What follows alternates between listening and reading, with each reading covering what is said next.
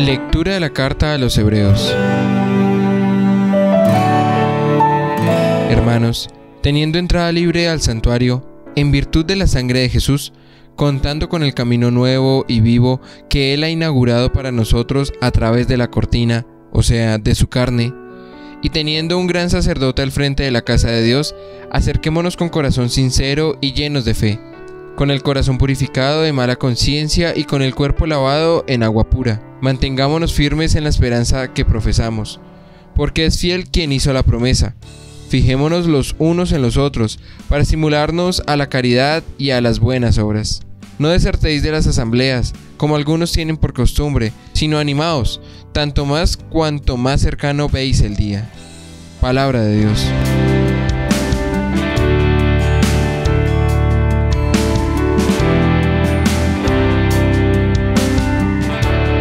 Este es el grupo que viene a tu presencia, Señor. Del Señor es la tierra y cuanto la llena, el orbe y todos sus habitantes. Él la fundó sobre los mares, Él la afianzó sobre los ríos. Este es el grupo que viene a tu presencia, Señor. ¿Quién puede subir al monte del Señor? ¿Quién puede estar en el recinto sacro? El hombre de manos inocentes y puro corazón que no confía en los ídolos. Este es el grupo que viene a tu presencia, Señor. Ese recibirá la bendición del Señor, le hará justicia al Dios de la salvación. Este es el grupo que busca al Señor, que viene a tu presencia, Dios de Jacob. Este es el grupo que viene a tu presencia, Señor. El Señor esté con ustedes. Lectura del Santo Evangelio según San Marcos. Gloria a ti, Señor. En aquel tiempo, dijo Jesús a la muchedumbre, ¿se trae el candil para meterlo debajo del sermín? ¿O debajo de la cama? ¿O para ponerlo en el candelero? Si se esconde algo, es para que se descubra. Si algo se hace a ocultas, es para que salga la luz. El que tenga oídos para oír, que oiga. Les dijo también, Atención a lo que estáis oyendo. La medida que uséis, la usarán con vosotros y con creces. Porque al que tiene se le dará, y al que no tiene se le quitará hasta lo que tiene. Palabra del Señor. Gloria a ti, Señor Jesús. Vamos a pedir la luz del Espíritu Santo. El Espíritu de Dios que nos guía para entender esta hermosa palabra. Espíritu Santo, ven sobre nosotros, sobre nuestra vida, para hacernos comprender esos regalos de amor, donde nos invitas a vivir en la luz, en la honestidad, en la transparencia, para que así podamos ver la gloria de Dios, acompañados del amor maternal, de la Santísima Virgen María con todos los santos y ángeles de Dios. Amén. Mis queridos hermanos y hermanas, nos dice la palabra de Dios que se trae el candil para meterlo debajo del seremín, literalmente en el texto griego. Dirá, ¿acaso viene la lámpara? Y nos hace comprender con mayor claridad el significado bíblico de la palabra del Señor Jesús, que como la luz ha venido para iluminar, no para ser olvidado y arrinconado. De esta manera nacen las dos imágenes del recipiente, del seremín, que se usaba para distinguir la lámpara con el fin de evitar que produjera humo, y la del hecho, que sustituye tal vez la más originaria de Q, debajo del cual se podía ocultar la luz. Ahora en el verso 22 nos dirá, si se esconde algo, es para que se descubra. Si algo se hace ocultas, es para que salga la luz. En ese dicho, que el mismo Señor utiliza originariamente, puede ser una referencia al día del juicio final de Dios. Pero en el Evangelio de San Marcos, en cambio la frase refiere al momento de la proclamación del Evangelio a todo el mundo. Pero en el verso 23 nos dirá, el que tenga oídos para oír, que oiga. Esto significa que debemos estar atentos a la escucha de la palabra de Dios, que es el mismo Señor Jesús. La luz vino al mundo, la luz verdadera que ilumina a todo hombre. San Juan capítulo 1 verso 9. Pero esta luz viene para ser colocada debajo del selemín o debajo del lecho, o sería más bien en el candelero. Parece que la actitud del Señor Jesús, así como las parábolas que la explican, tienen a ocultar esta luz, aunque en el transcurso de su ministerio va dando a conocer poco a poco el reino de Dios. la buena noticia. También sabemos, quien quiera tener un mensaje a traer, siente la urgencia de manifestarlo. El Señor Jesús la sentía, y así como la sentirán sus discípulos después de él, no hay duda que la verdad resplandecerá y será colocada sobre el candelero. Pero, ¿cuándo y cómo? Esto se hará poco a poco a través de la revelación. El Padre, que a través de su Hijo nos dará a conocer los misterios de amor. En el Evangelio que ha sido proclamado, habrán dos primeras breves parábolas, a través de la oposición, debajo del selemín, lecho, candelero, es decir, oculto, manifestado, secreto, puesto en evidencia. Se declara la estrategia inherente al mensaje de Jesús, válida también para sus discípulos que deberán retransmitirlo. El reino que Él comienza es un fuego que Él quiere que se encienda. San Lucas capítulo 12, verso 29. Una luz que las tinieblas no pueden sofocar, pero este fuego se encenderá a su tiempo y a su modo, precisamente como la semilla de la que se habla en las parábolas, que producirá fruto solo después que haya sido escondido debajo de la tierra y con la condición de que muera. Por eso el Señor Jesús, a los tres discípulos que habían visto el fulgor, anticipado de su gloria en el monte de la transfiguración, les ordenó que a nadie contasen lo que habían visto hasta que el Hijo del Hombre resucitara dentro de muertos. San Marcos capítulo 9, verso 9. Nos hallamos en el corazón del secreto mesiánico. Este secreto cesará cuando Jesús sea levantado. San Juan capítulo 12, verso 32. Entonces quedará manifestada a todos su luz como la de una ciudad edificada sobre el monte, que no puede quedar oculta. San Mateo, capítulo 5, verso 14. Solo entonces será colocada sobre el candelero y alumbrará a todos los que están en la casa, no antes.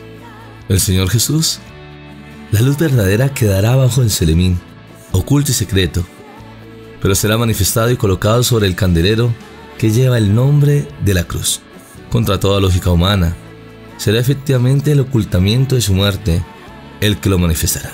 La luz de Jesús se revelará solamente a quien lo encuentra primero en la cruz, los discípulos y nosotros como ellos. No estaremos en condiciones de ver el testimonio de esta luz cuando comprendamos y experimentemos qué significa resucitar de entre los muertos. Por consiguiente, Jesús y su palabra son luz, pero oculta que debe captarse precisamente en su ocultamiento. Es como el grano de trigo, que es promesa de espiga llena y madura precisamente al morir debajo de la tierra. Es una cosa difícil de comprender. Es el gran misterio del reino de Dios.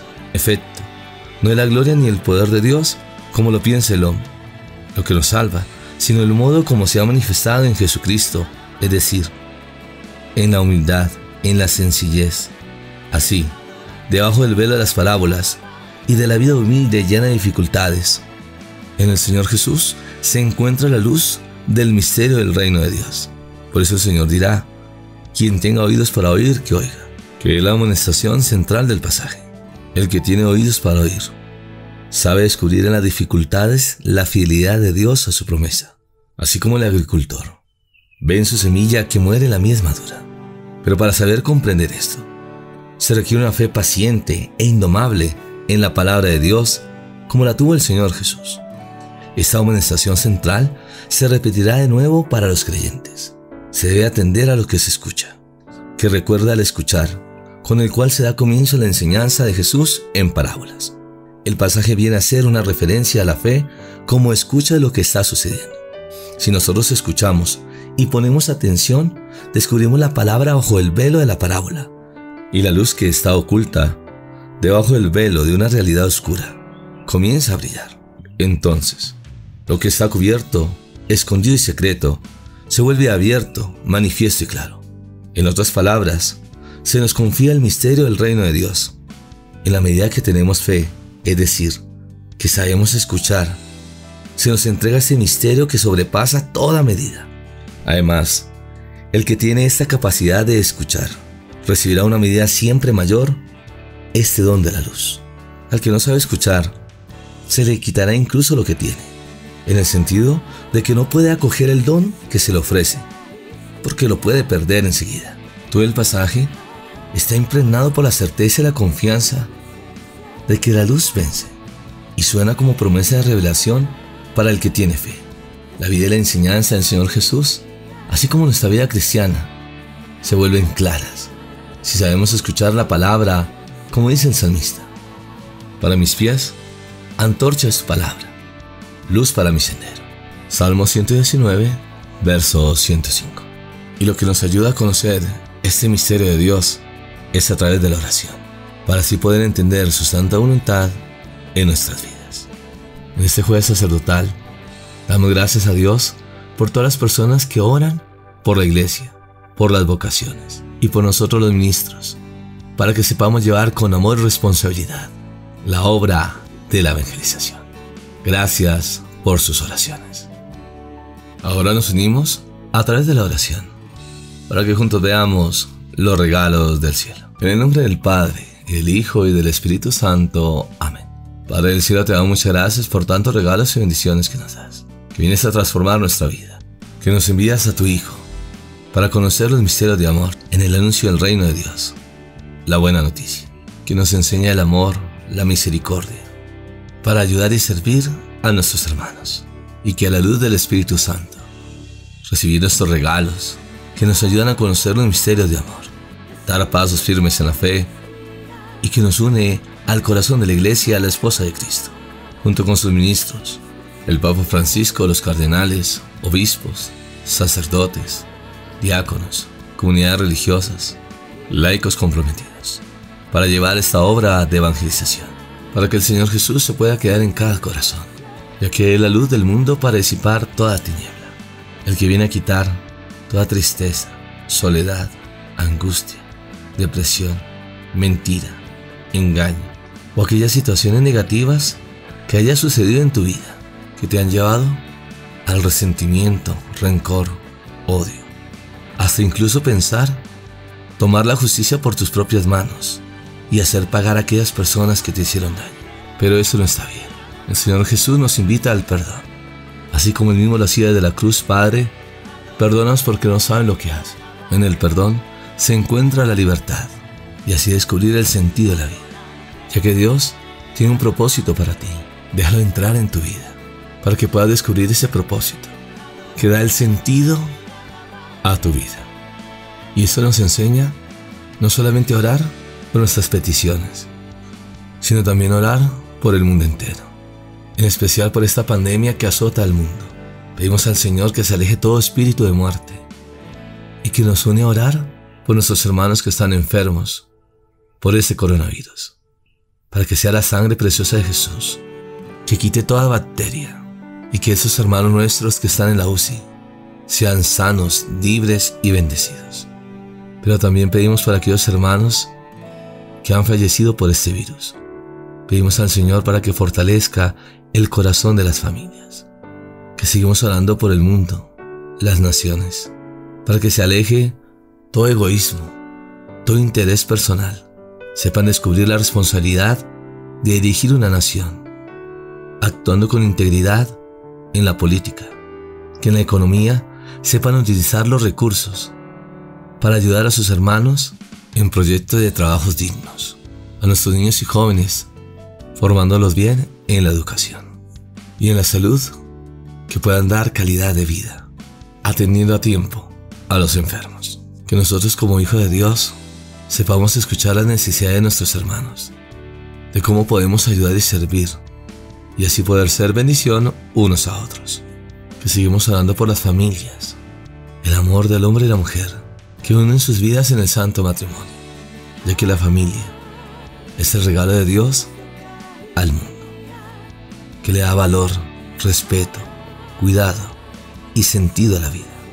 Pedimos por aquellos matrimonios que están en crisis, para que en estos momentos difíciles hagan un alto en el camino, puedan unirse en oración, en diálogo, respeto, comprensión en ayudarse uno al otro para poder salir adelante. Como también los que viven en unión libre, sepan la importancia del sacramento del matrimonio que le da sentido bendición a sus vidas.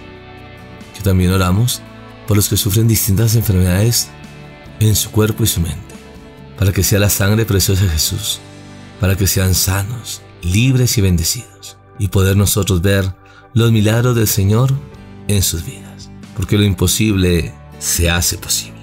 Ahora entrega tu petición. Sé que hay momentos difíciles, pero si abres tu corazón, oras con fe, reclamas sus promesas, vives el regalo de la Eucaristía, que te darán fuerza para seguir adelante, para saber esperar en el momento indicado, el Kairos, el tiempo de la bendición de Dios en tu vida. Ahora nos preparamos para recibir la bendición. El Señor esté con ustedes. Y la bendición de Dios Todopoderoso, Padre, Hijo y Espíritu Santo, descienda sobre ustedes y les acompañe siempre. Amén. Que nosotros como hijos de Dios, a través de la oración, sepamos descubrir este misterio de Dios, que nos dan autenticidad y la luz de Cristo brilla en nuestras vidas, para que así podamos ser bendición unos a otros. Bendiciones del cielo.